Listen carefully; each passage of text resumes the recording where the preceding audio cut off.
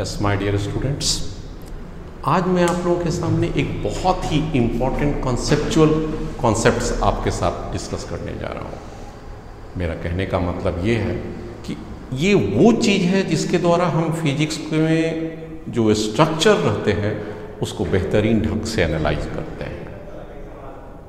Analyse करने का मतलब ये है कि उसमें लगने वाले रिएक्शंस को हम कैलकुलेट कर पाते हैं और ये भी हम जान पाते हैं कि जो कोई भी ऑब्जेक्ट है, वो क्या इक्विलिब्रियम में है या अनस्टेबल स्टेज में है? इक्विलिब्रियम कहने का मतलब हमारे पास दो सेंस से होता है। क्या वो स्टैटिक इक्विलिब्रियम है या डायनेमिक इक्विलिब्रियम है? चलिए मैं इन सारी चीज़ों को आज आपके सामने स्पष्ट कर देता हूँ और इसका लिंकेज आपके फिजिक्स या केमिस्ट्री या मैथ हर जगह, हर स्टेज पर मिलता है।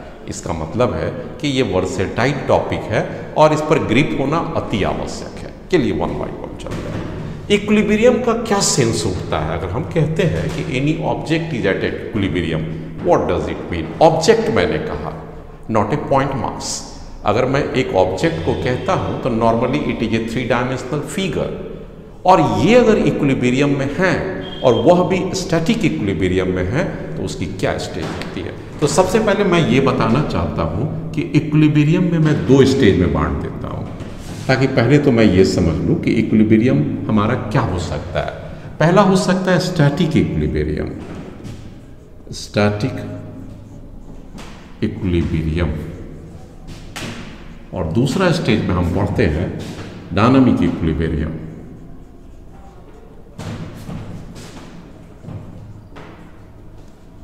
static equilibrium name itself is suggestive नाम खुद ही बताता है। Here the body is at rest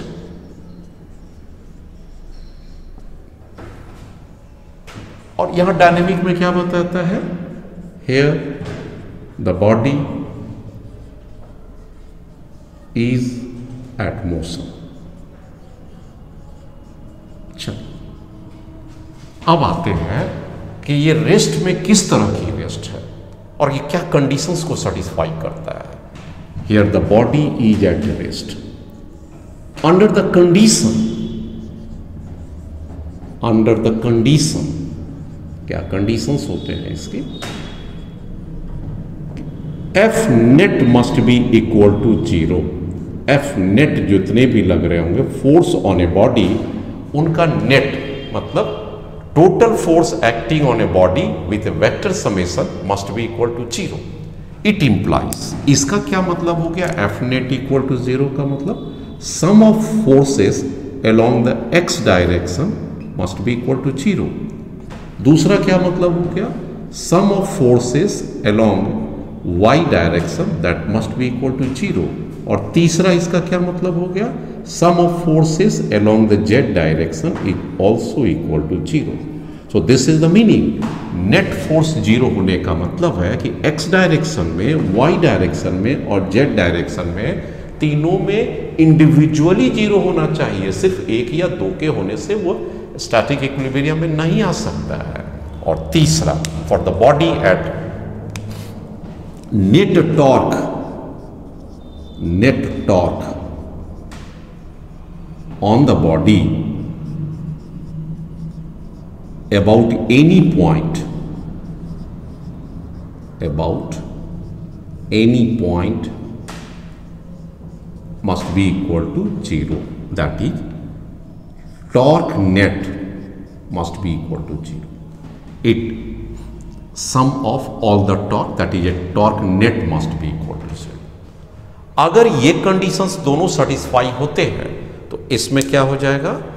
ये कंडीशन सेटिस्फाई अगर हमारे पास होते हैं जो आप देख रहे हैं F net tends to be zero मतलब नीचे के तीनों कंडीशन सेटिस्फाई होते हैं तो no translational motion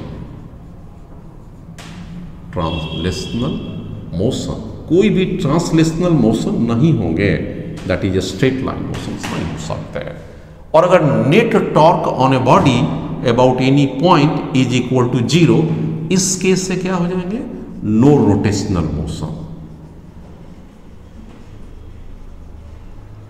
no rotational motion और ये दोनों केस को अगर जोड़ दिया जाए, ना तो ट्रांसलेशनल मोशन हो, ना तो रोटेशनल मोशन हो, इन दोनों को कैटेगराइज किया जाता है स्टैटिक इक्विलिब्रियम में.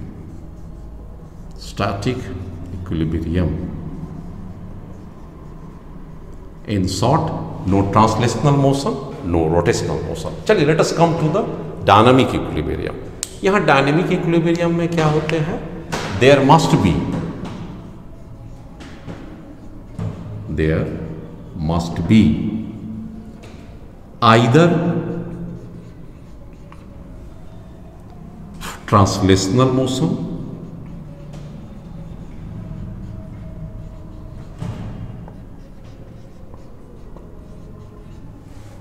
और ये रहा ट्रांसलेशनल मोशन और रोटेशनल मोशन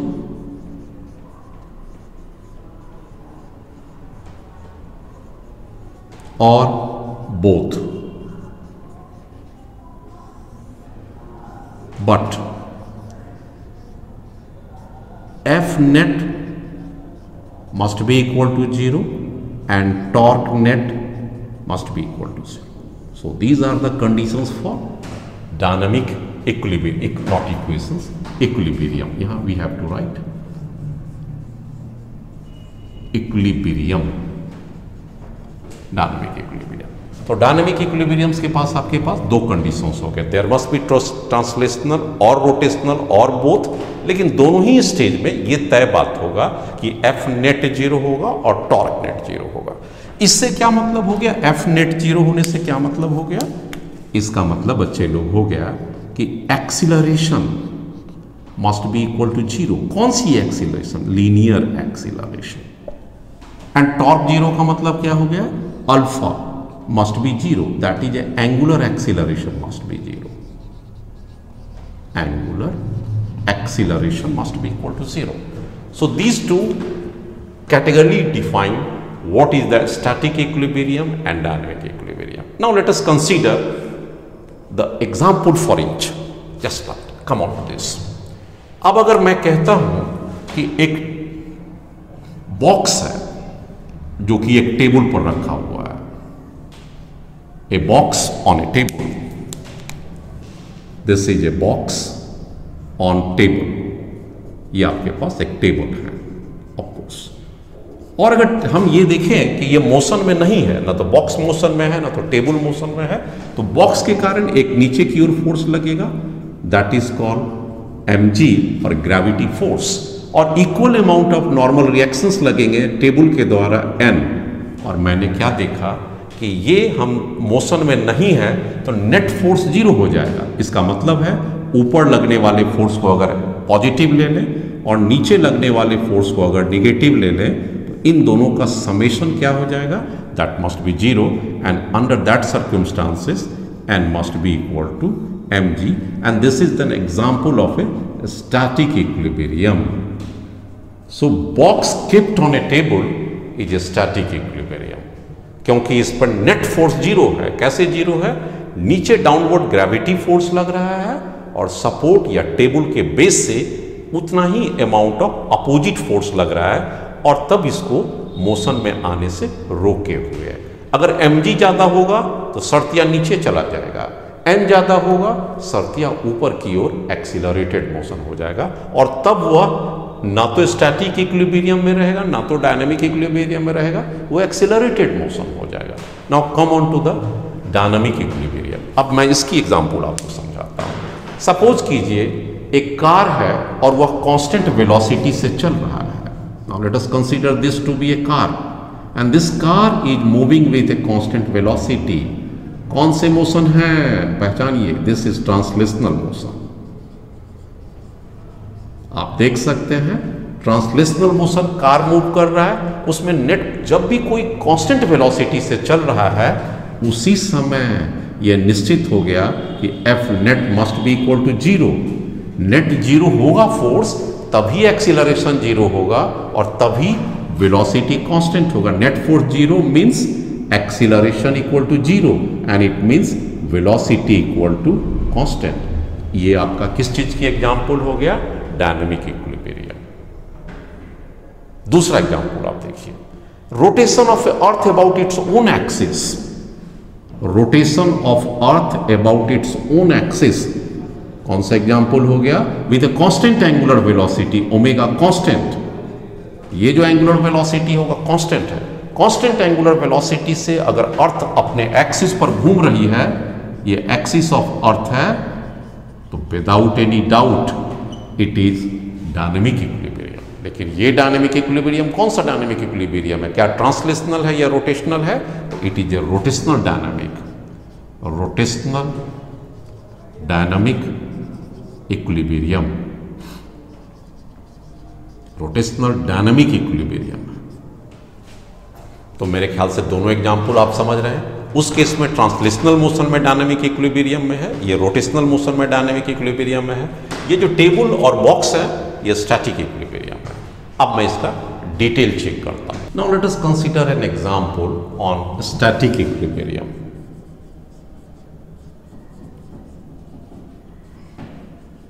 static equilibrium मतलब है कि एक छोटे से प्रॉब्लम्स को मैं सॉल्व करने जाता हूँ with the help of a equilibrium and that too is static equilibrium ये पूरा सिस्टम से जो तीन रस्सी से बंधा हुआ है, ये जॉइंट है यहाँ पर। ये देख सकते हैं दिस इज़ द जॉइंट और ये तीनों सिस्टम बंधा हुआ और कहता है the system is static equilibrium निकालने के लिए क्या कहता है? फाइंड क्या फाइंड करना है? Tension in strings tension in strings आपके पास तीन स्ट्रिंग्स हैं, आप देख सकते हैं string one string two and string three चलिए, सबसे पहले आप आइए स्ट्रिंग थ्री पर। ये आपका इक्विलिब्रियम में है, ये वाला। अगर ये इक्विलिब्रियम है तो नेट फोर्स क्या होगा? That must be equal to zero इसके ऊपर नेट फोर्स क्या लगेगा? Ten into G that is equal to hundred मगर जी की वैल्यू को टेन टेन ले लें मीटर पर सेकेंड स्क्वायर अब ये ब्लॉक इक्विलिब्रियम में है टेन के जी का. नीचे अगर 100 न्यूटन लग रहा है तो अवश्य उसके जस्ट अपोजिट में कितना लगना चाहिए? टेंशन अगर हम टी वन मान लें तो ये भी 100 न्यूटन ही लगेगा. क्योंकि लॉ क्या कहता है इक्विलिब्रियम में sum of all the forces must be equal to zero तो सिर्फ़ एक फोर्स ही लगा हुआ है तो दूसरा फोर्स उसको ज़ीरो करने के लिए उतना ही अपोजिट डायरेक्शन में लगेगा और ये आपका टेंशन T1 निकल गया। तो first answer is clear T1 equal to hundred newton. Now let us come अब अगर ये ज्वाइंट को देखिए इस पॉइंट पर तो तीन फोर्सेस लग रहा है। कौन कौन फोर्स लग रहा है? एक देखिए, यही टेंशन उसे नीचे खींच रहा है दिस टेंशन ठीक है? ये पॉइंट को ये इधर खींच रहा है। तो let us consider this to be the T two और इसका टी थ्री नाम आप दे दीजिए। टी थ्री चूँकि मैंने इसे टी थ्री दे रखा सिंबॉलिकली इसलिए टी थ्री ले लीजिए आप। ये टी थ्री हो गया। और टी वन स्ट्रिंग वन दिए, इस पॉइंट को ये क्या खींचेगा? जब ये इसको इधर खींच रहा है, ये इसको इधर खींच रहा है ऑब्वियसली इक्विलिब्रियम के लिए ये टी वन खींचेगा। ये आपके पास हो गया। अब आते हैं, बात कि ये इक्विलिब्रियम में लेकिन यहाँ पर आप देखिएगा कि एक्स वाई और जेड एक्सिस आइसोलेटेड नहीं दिया हुआ है फोर्स का डायरेक्शन अब आप क्या कीजिए, इसको एक्स मान लीजिए, इस डायरेक्शन को, और इस डायरेक्शन को आप वाई मान लीजिए। और अब आप इसको एनालाइज करते हैं हम ये अपनी जगह पर ठीक है वाई डायरेक्शंस में है, ये अपनी जगह पर एक्स डायरेक्शन में है, लेकिन ये फोर्स इंक्लाइंड है। इसकी कंपोनेंट्स लेना पड़ेगा। ये कंपोनेंट्स कैसे लेंगे? आप यहाँ पर आ जाइए। एक ऐसे है, एक ऐसे है, एक ऐसे करके लगा हुआ है। ये फोर्स एज यूजल T1 है, ये फोर्स एज यूजल T3 है and this force is T2 और ये एंगल आपके पास 53 डिग्री है। As per the rule of a component from the vector side इसके दो पार्ट इंक्लाइन के दो पार्ट हो जाएँगे। This is T two cos fifty three degree and ये वाला जो कंपोनेंट हो जाएँगे इस टी टू का this is T two sine fifty three degree अब ये कैंसिल हो गया। ये फोर्स को दो पार्ट में मैंने बांट दिया और ये खत्म हो गया। अब इसका मतलब हो गया कि ये एक्स एक्सिस में दो फोर्स लग रहे हैं और वाई एक्सिस में दो फोर्स लग रहे हैं और साथ साथ ये जो जॉइंट है दिस इज़ एट इक्विलिब्रियम अब क्या मतलब हो गया कि एक्स एक्सिस में लगने वाले और टी थ्री की वैल्यूज़ आपके पास ऑलरेडी है।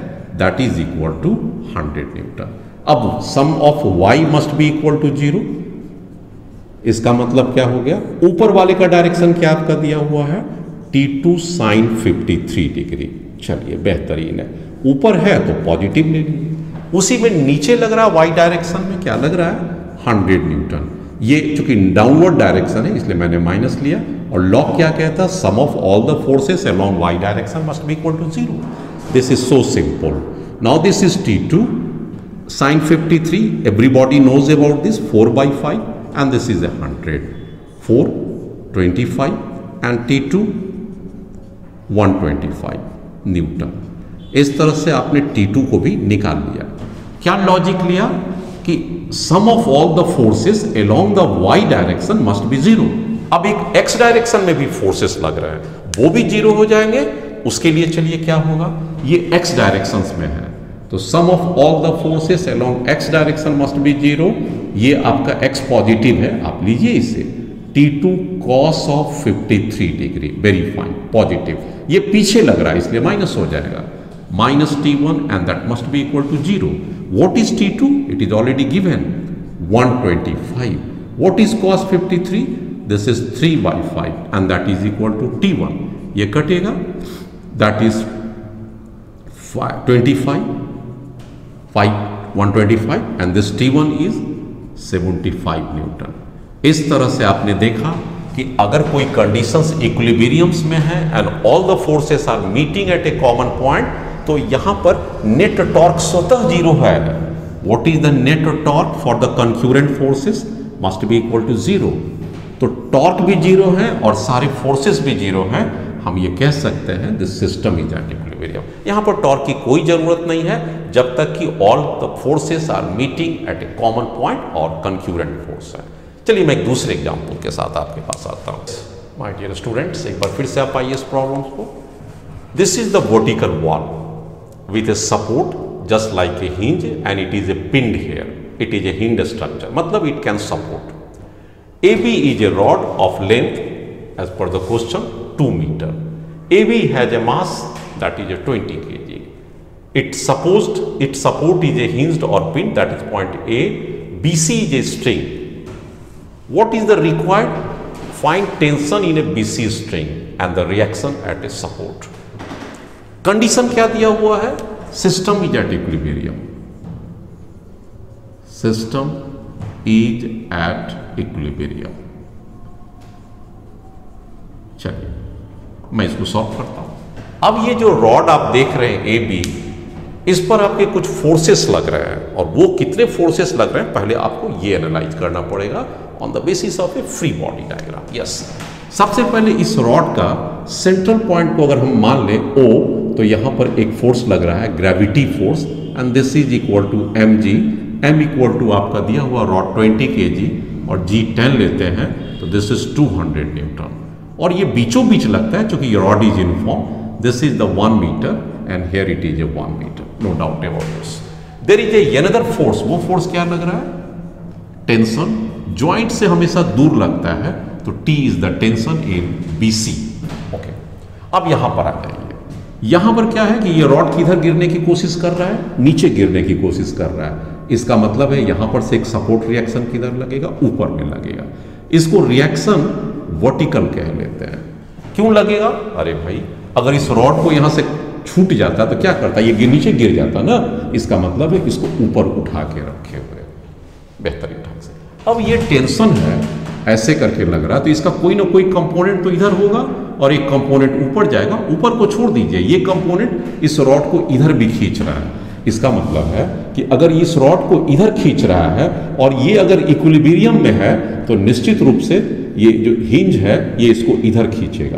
तो this is the reaction horizontal फिर से एक बार समझ लीजिए कि ये रॉड ए बी है, और वो क्या दिया हुआ है? यहाँ पर से सपोर्ट कंडीशन देखिए बच्चे लोग। System is at equilibrium system का मतलब क्या है? Rod A B rod A B अगर इक्विलिब्रियम में है तो there must be two different condition to be fulfil क्या लेना पड़ेगा? F net must be equal to zero it means summation fx must be zero and summation fy must be zero. पहला condition दूसरा condition क्या कहता है कि ये रोटेशन में भी नहीं होना चाहिए। इसका मतलब क्या होता है? टॉर्क एट पॉइंट ए मतलब जहाँ पर सपोर्ट है that must be equal to zero sum of all the torque this is the two rather, these are two different conditions which gives the complete equilibrium conditions of rod A चलिए, अब हम इस applications को apply करते हैं। सबसे पहले x और वाई डायरेक्शन को आप तय कर लीजिए, भाई कौन सा एक्स डायरेक्शन और कौन वाई है? तो normally consider this to be the X and this to be the Y direction आप अपने बोर्ड पर कॉपी पर, जहाँ पर भी है, उसे मार्क कर लीजिए। नाउ वेरी सिंपल अब क्या है बच्चे लोग? कि आपका यहाँ पर ये फोर्स ये फोर्स ये फोर्स ये force they all are not meeting at a common point और जैसे ही कॉमन पॉइंट पर नहीं मिलेंगे तो आपका दोनों कंडीशन को फुलफिल होना पड़ेगा। Sum of all the forces must be zero and torque must also be zero conditions आप बढ़िया समझ लीजिए। इफ़ ऑल द फोर्सेस जितने भी फोर्स हैं, ये फोर्स ये फोर्स तो एक जगह मिल गए, लेकिन ये कहाँ मिल रहा है इस पॉइंट पर? और फिर इसका डायरेक्शन तो इधर जा रहा है, ये भी कहाँ इस पॉइंट पर मिलते हैं? मतलब all the four forces are not concurrent और जैसे ही कंक्यूरेंट नहीं है तो torque must also be zero for equilibrium along with the force condition चलिए, सबसे पहले टॉर्क व्हाट इज़ टॉर्क तो टॉर्क के लिए मैं ये मान के चलता हूँ कि आपको टॉर्क बेसिकली समझ में थोड़ा आ रहा होगा और थोड़ा मैं आपको बताते भी चलूँगा। बेहतर ढंग से आप समझने की कोशिश कीजिए। टॉर्क टॉर्क आप कहाँ पर निकालेंगे? ओ पॉइंट पर निकालेंगे। आ जाइए टॉर्क मैं आपको सबसे पहला वही निकालता हूँ। Sum of torque at point A must be equal to zero for rotational equilibrium. क्योंकि ये रोटेट नहीं कर रहा है, आप देख रहे हैं स्टैटिक इक्विलिब्रियम है तो rotational equilibrium. Static rotational equilibrium है ये अकॉर्डिंग टू द क्वेश्चन अब आप कैसे निकालिएगा, ये आपको मैं बताता हूँ बेहतर ढंग में। आपके पास कई फोर्स लग रहे हैं। ये फोर्स आप देखिए ये फोर्स उसी डायरेक्शन उसी पॉइंट से पास कर रहा है जहाँ पर निकालना है तो टॉर्क आपका किस किस के कारण निकालना नहीं पड़ेगा। टॉर्क आपको निकालना कई फोर्स के कारण। एक फोर्स निकालना आर एच तो आप आर एच दीजिए। इनटू परपेंडिकुलर डिस्टेंस आप लीजिएगा। इसकी परपेंडिकुलर डिस्टेंस कितना हो जाएगा? इसी पॉइंट पर। ये तो उसी से पास कर गया ना। तो वो तो ज़ीरो हो जाएगा। अगर हम आर भी भी लें तो आर भी into force into perpendicular distance torque होता क्या है? Torque is equal to force into distance perpendicular perpendicular distance perpendicular distance मैं बताऊँगा बेहतर ढंग से, लेकिन टॉर्क का आप वो समझ लीजिए। टॉर्क मैं कहाँ पर निकाल रहा हूँ? टॉर्क एट पॉइंट ए निकाल रहा हूँ। ये दोनों के कारण ज़ीरो क्योंकि परपेंडिकुलर डिस्टेंस यहाँ पर तो नहीं होगा। आप जरा सा इसको ध्यान दीजिए। किसकी बात हम कर रहे हैं? ग्रेविटी फोर्स का। इसकी परपेंडिकुलर क्या होगा? लाइन ऑफ़ एक्शन को आगे बढ़ाइए। लाइन ऑफ़ एक्शन का फोर्स का। और यहाँ से उस पर परपेंडिकुलर दीजिए। खुद यही तो हो गया वन मीटर तो ये टॉर्क कितना लगेगा? इसके लिए ग्रेविटी फोर्स के लिए 200 और परपेंडिकुलर डिस्टेंस कितना है? वन मीटर है। और ये किधर घुमाएगा? क्लॉकवाइज एंटी क्लॉकवाइज आप देख सकते हैं। इसको पकड़कर घुमाइए, ऐसे पॉइंट पर रखते हुए। दिस इज़ सर्टेनली क्लॉकवाइज है, और क्लॉकवाइज टॉर्क को हम निगेटिव लेते हैं बाई कन्वेंशन चलिए क्लॉकवाइज टॉर्क निगेटिव लेते हैं। अब आपके पास ये दोनों के कारण ज़ीरो ये के कारण परपेंडिकुलर डिस्टेंस वन मीटर ये फोर्स इधर लग रहा है। Can you find its perpendicular distance हाँ। अब आपको इसकी परपेंडिकुलर डिस्टेंस निकालने के लिए क्या कीजिएगा? इस फोर्स के लाइन ऑफ़ एक्शन को आगे बढ़ा दीजिए। देखिए यहाँ पर। This is the line of action इस फोर्स को लाइन ऑफ़ एक्शन और उस लाइन ऑफ़ एक्शन को फोर्स के जिस पॉइंट पर आप हैं, वहाँ से परपेंडिकुलर ड्रॉप कीजिए। देखिए मैं परपेंडिकुलर ड्रॉप कर रहा हूँ। यहाँ से ये परपेंडिकुलर ड्रॉप की मैंने perpendicular now this is the perpendicular distance और आपके पास ये एंगल मिल गया। ये पहले से ही 53 डिग्री है। Now this is perpendicular distance R perpendicular किस फोर्स के लिए? टेंशन के लिए. और ये किस दिशा में इसे मूव करेगा? आप ध्यान से देखिए, इसको जब ऊपर उठाइएगा तो ये ऐसे करते हुए एंटी क्लॉकवाइज डायरेक्शन में जाएगा, इसलिए प्लस हो जाएगा. फोर्स कितना आप नहीं जानते हैं? टी है. नहीं जानते हैं. यही तो निकालना है. लेकिन ये डिस्टेंस तो आप जानते हैं, ये डिस्टेंस कितना होगा?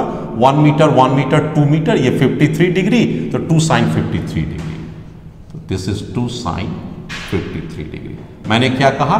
फोर्स के लाइन ऑफ़ एक्शन को ले जाइए, आगे पीछे कीजिए और जिस पॉइंट पर टॉर्क निकालना लाइन ऑफ़ एक्शन पर परपेंडिकुलर दीजिए। और वही परपेंडिकुलर डिस्टेंस टॉर्क में ये क्या होता है? Perpendicular distance torque force into perpendicular distance अब ये एंटी क्लॉकवाइज घुमा रहा है, इसलिए इसको हमने पॉजिटिव लिया। एंटी क्लॉकवाइज है सेंस आप खुद देख के समझ जाइएगा, या मैं आपको टॉर्क का एक विशेष चैप्टर भी लोड करूँगा, आप उसमें भी देख लीजिएगा। पूरा टॉर्क ही मैं एक बार पढ़ाऊँगा। अब यहाँ पर ये दोनों बच्चे लोग खत्म हो गए। लेकिन लेकिन लेकिन, एक पॉइंट है। टॉर्क एट पॉइंट ए क्या होगा? ज़ीरो क्यों ज़ीरो होगा? सिस्टम इज़ एट इक्विलिब्रियम तो इसको ज़ीरो कर दीजिए। ये जैसे ही ज़ीरो हुआ, आपका बहुत सारा चीज़ एनालाइज हो गया। ये क्या आ जाएगा? Minus two hundred into one two hundred plus T rather two T into sine fifty three four by five इसका मतलब क्या हो गया? Two T sine sorry two T four by five, क्योंकि साइन हमारे फिफ्टी थ्री का four by five equal to two hundred. इस two hundred से मेरे पास सॉल्व हो जाएगा, इसको कीजिए। फिफ्टी और ये टू से कटेगा ट्वेंटी फाइव, और इसका मतलब T equal to twenty five into five that is one twenty five newton. ये आपके पास टेंशन आ गया। देखा मैंने आपको टेंशन निकाल दिया ना, जो आपसे पूछा था व्हाट इज़ टेंशन यहाँ पर पूछा था फाइंड टेंशन इन स्ट्रिंग ये चीज़ तो निकल गया। अब आपके पास क्या निकालना है? सपोर्ट रिएक्शन तो आपके पास क्या निकालना है? जैसा कि मैंने कहा आपको ये दोनों चीज़ बताना है आर भी कितना है और आर एच कितना है। चलिए सबसे पहली बात यह है कि इस टेंशन को आप चूँकि ये ना तो एक्स एक्सिस में है ना तो वाई एक्सिस में है मैंने आपको पहले ही कहा है फोर्स को अलोंग द एक्सिस कीजिए दैट इज़ कंपोनेंट लिखिए या उसको रिजॉल्व कीजिए। इस टेंशन का इस दिशा में कितना हो जाएगा? ये आप लोग रिजोल्यूशन ऑफ़ वेक्टर से पढ़े हैं टी कॉस 53 डिग्री। और ये वाला क्या हो जाएगा? Obviously T sine 53 degree. चल, इसकी वैल्यू पुट कर दिए। टी आपके पास 125 है, आपने निकाला। Cos 53 three equal to three by five है। ये दोनों कटेगा। 25 five into three that is 75 newton इस दिशा में 75 न्यूटन खींच रहा है। अब आपके पास क्या हुआ? इसको जरा फिर से एनालाइज करके देखिए। ये रॉड है आपके पास। और इस दिशा में रॉड को आप खींच रहे हैं कितना ज़ोर से? 75 और कहते हैं कि ये इक्विलिब्रियम में भी है। और अगर इक्विलिब्रियम में है तो sum of horizontal forces must be equal to zero तो जब ये 75 न्यूटन इधर लग रहा है तो एक न एक रिएक्शन इधर ज़रूर लगेगा। दैट इज़ आर हॉरिजॉन्टल तभी ना उसको ज़ीरो कर पाएँगे, नहीं तो ये तो मोशन में हो जाएगा। अब लिखिए इसको। उधर 75 है 75 पॉजिटिव दीजिए, चूँकि राइट वे है, और ये पीछे में जा रहा है, इसको माइनस दीजिए। And this must be equal to zero चूँकि समेसन एफ़ एक्स ज़ीरो होता है। इसलिए रिएक्शंस हॉरिजॉन्टल कितना हो गया? 75 न्यूटन कोई डाउट है? मैं समझता हूँ बिल्कुल भी नहीं। लेकिन लेकिन इसके नीचे कितना फोर्स लग रहा है? ये ग्रेविटी के कारण। ग्रेविटी यस 200 न्यूटन आपने देखा, ये 200 न्यूटन है। और ये वाला फोर्स कितना लग रहा है? Component T sine 53 degree T sine 53 degree चलिए टी साइन 53 की वैल्यूज़ को हम लोग कैलकुलेट करें। टी ऑलरेडी हमारे पास है 125 twenty five sine 53 that is a 4 by five ये 25 five into four that is 100 newton अब इस रॉड पर तीन फोर्स लग रहा है। एक फोर्स किधर लग रहा है बच्चे? इधर लग रहा है। दैट इज़ आर भी एक इधर लग रहा है और इधर। तो हमने ये भी पढ़ा है ना कि कोई भी रॉड अगर इक्विलिब्रियम में होगा तो टॉर्क तो ज़ीरो करके टेंशन निकाल लिए समीशन एफेक्स करके आर एच निकाल लिए अब क्या करेंगे? Sum of all the forces along the Y direction must be equal to zero चलिए, एक फोर्स ऊपर लग रहा है पॉजिटिव लीजिए इससे दैट इज़ आर भी पॉजिटिव एक नीचे लग रहा है, इसे निगेटिव लीजिए। और एक वाई डायरेक्शन में टी साइन 53 ऊपर लग रहा है दैट इज़ ए पॉजिटिव लीजिए। ये कितना है? 100 newton and that must be equal to 0 according to the equilibrium condition, sum of all the forces along the y direction must be 0 accordingly, this rv is equal to 100 newton तो आपने देखा कि यहाँ पर भी दो चीज़ निकल गया। एक ये भी निकल गया और एक ये भी निकल गया। अब पूछिए कि इसका रिजल्टेंट किधर जाएगा, ये भी ध्यान दीजिए।